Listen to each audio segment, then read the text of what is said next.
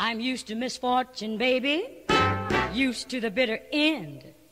I'm used to trials and troubles. Mary Marvin, 1875-1963.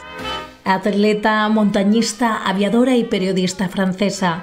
Ganó numerosos premios por sus logros deportivos, incluidos los de natación, ciclismo, montañismo, deportes de invierno, vuelo en globo, vuelo, equitación, gimnasia, atletismo, tiro con rifle y esgrima.